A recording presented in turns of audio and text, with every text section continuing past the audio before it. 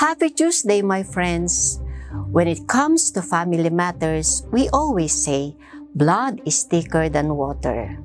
But for Jesus, in today's gospel, submission to God's will is what matters the most.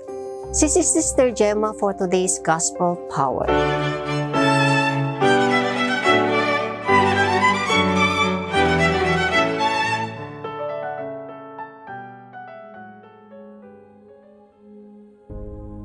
While Jesus was still speaking to the crowds, his mother and his brothers were standing outside wanting to speak to him. Someone told him, Look, your mother and your brothers are standing outside wanting to speak to you.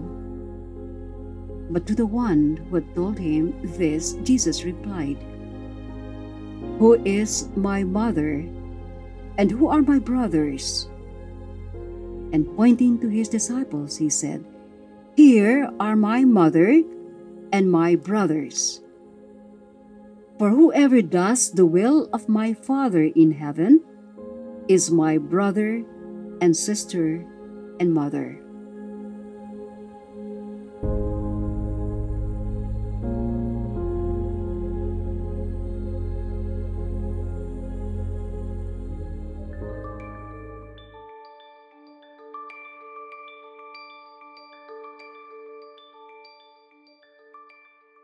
Like all human beings, Jesus entered the world of being born into a human family.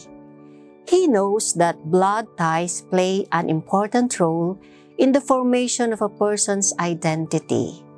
His own mother is no doubt Jesus' first teacher and model in obedience and fidelity to God's will. Despite Jesus' strange expression in today's gospel, he does not ignore his family's visit. Rather, the visit provides him with the right context for teaching his disciples how the kingdom of God redefines relationships and raises human connectedness to a level that supersedes blood ties. Belonging to God's kingdom does not depend on blood ties, but on the submission to the will of the Heavenly Father everyone who obeys God becomes a member of Jesus' new and universal family.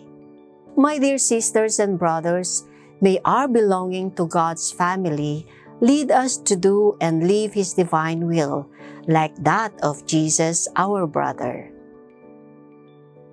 Let us pray. Lord Jesus, bend our stubborn wills and incline us to submit to God's will in all matters. Amen.